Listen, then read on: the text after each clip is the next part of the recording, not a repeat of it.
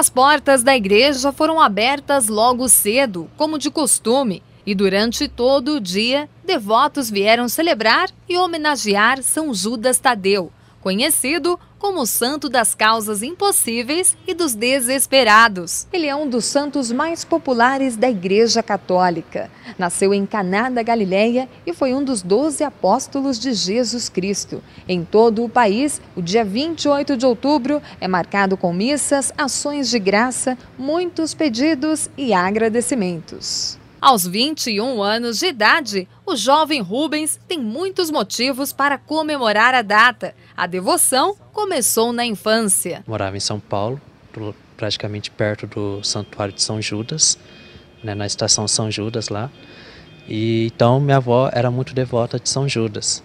Então todo ano, é, no dia 28 de outubro, a gente acordava cedo e ela me e eu junto com ela ia, íamos para o santuário para participar das celebrações, para passar no, no, na imagem, no pé do santo da imagem, né, São Judas que tinha lá.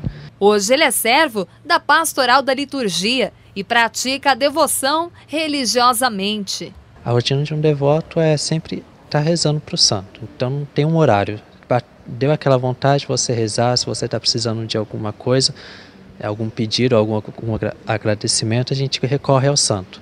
A gente vai, ajoelha, acende uma vela a ele, é, agradece, faz os pedidos, participa da missa e sempre de, é, propaga a devoção também a outras pessoas. Assim também como seu José Roberto, que começou uma novena dois meses antes do dia de São Judas Tadeu. Já está fazendo já uns 15 para 20 anos mais ou menos que eu aprendi com a vizinha quando falta dois meses para o dia de São, de São Judas, a gente começa uma novena em casa, eu e minha esposa. Então, e vem terminar essa novena hoje aqui na igreja. Segundo ele, na hora de pedir, vale para todos os santos. A gente cobra todos os santos, né? E a gente não sabe qual que é a graça, mas que a gente sempre apela para ele, a gente apela. E este ano teve novidade para os fiéis na celebração. O Vaticano concedeu ao Santuário de São Judas Tadeu de São Paulo uma relíquia do santo, que está aqui em Poços de Caldas. A relíquia é composta por um fragmento do fêmur do santo. A relíquia já esteve aqui na paróquia em 2012, né? E então, assim, é uma graça muito grande você poder estar diante de um santo né? Porque é um fragmento, é um pedacinho.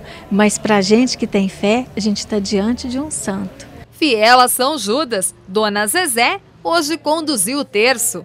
Um momento inesquecível. Nós rezamos é, todo domingo terço das mulheres. E hoje, às três horas da tarde, viemos aqui para rezar o terço das mulheres com a presença de São Judas Tadeu, né? Por ser o dia 28. E a importância do rosário é pedir pela paz nas famílias, né? É, que Nossa Senhora pede muito para que a gente continue rezando o rosário para obter as graças necessárias.